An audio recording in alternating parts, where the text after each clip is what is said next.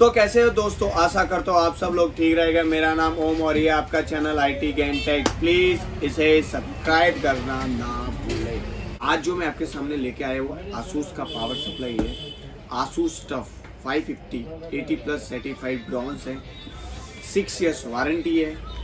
ये अपनी इस कैपेसिटर के साथ है और ये कैसा दिखता है वो मैं आपको बता दूँगा। और इसकी जो प्राइस है कूलर मास्टर कोर्सियर इसकी लेवल में लेके आ गए हैं। तो मेरे हिसाब से ये बेटर है। आप अगर कूलर मास्टर कोर्सियर लो तो उसकी जगह पे आप ये ले सकते हो। ब्रॉन्स एडिशन है सिक्स ईयर्स वारंटी है। और जितने कैपेसिटर है सबके ऊपर हीट सिंग दिया हुआ है।